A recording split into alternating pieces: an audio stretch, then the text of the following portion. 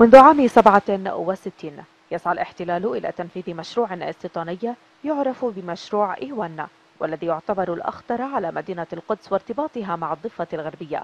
هذا المشروع أعد عام 94 بأمر من إسحاق رابين صدق عليه عام 97 من قبل إسحاق مردخاي وزير جيش الاحتلال سابقا.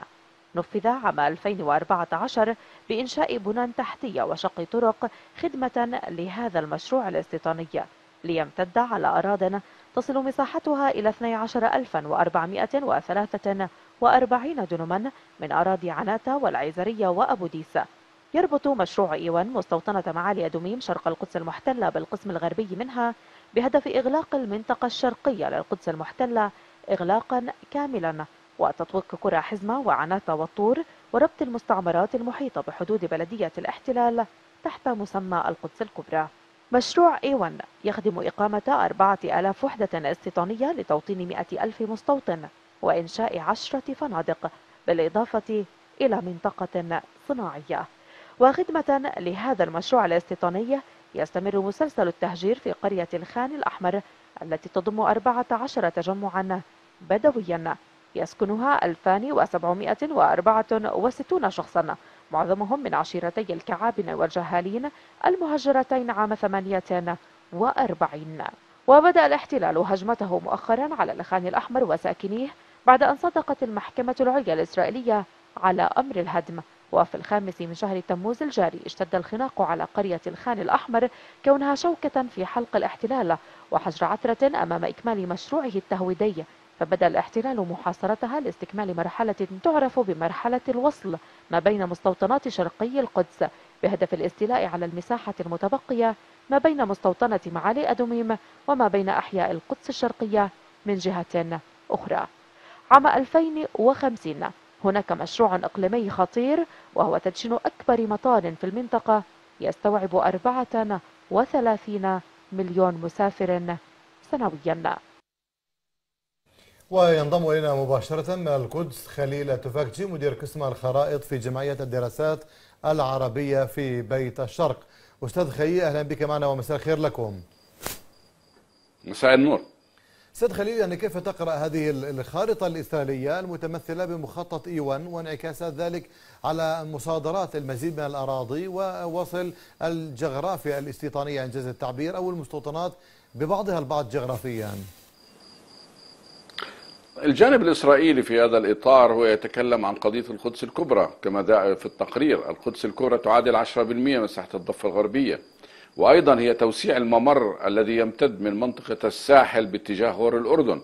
وبالتالي في هذه المنطقة يجب أن يكون هنالك كتلة استيطانية ضخمة ترتبط إقليميا بمعنى مع الأردن ومع الداخل.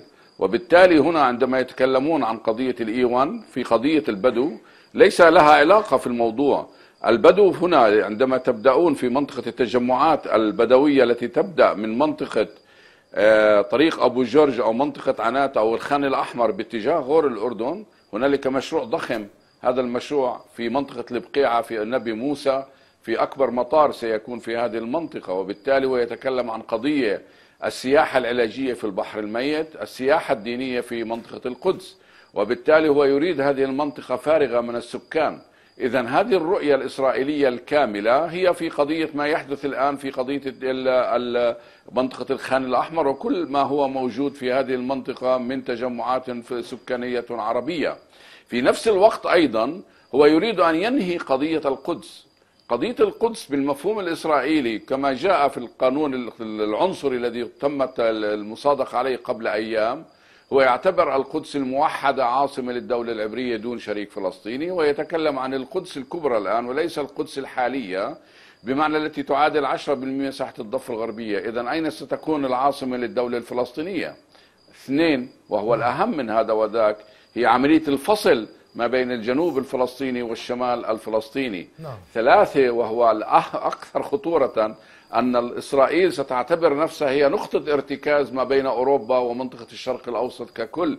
لأنه في هذه المنطقة سيقام سكك حديدية شوارع عريضة فتح مطارات فتح جسور. جسر الملك عبد الله اليوم مغلق الذي يقع وهو مدمر بال 67 فتح هذا الطريق يؤدي مباشرة إلى الأردن ثم إلى المناطق الشرقية حتى منطقة الشرق الأدنى نعم وما هو مصير المواطنين الفلسطينيين وأصحاب الأرض الشرعيين أمام مثل هذه المخططات التي تتحدث عنها لها علاقة بمطارات، موانئ، تواصل جغرافي، بعد استيطاني أكبر وأشمل وأعم. أنا اعتقادي أنه على الفلسطينيين وضع جي وضع حساس جدا. صمود هؤلاء الفلسطينيين في هذه المنطقة هو تخريب لكل المشروع الإسرائيلي.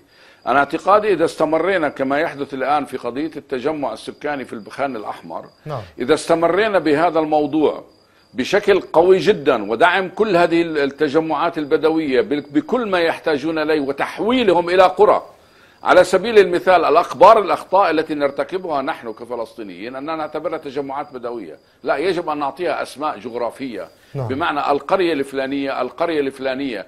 لأنه كما حدث في قضية النقب كانت قرية أم القيعان قرية أم الحيران. عندما تم نعم. تدمير تم تدمير ليس تجمعات بدوية تجمعات قرى فلسطينية.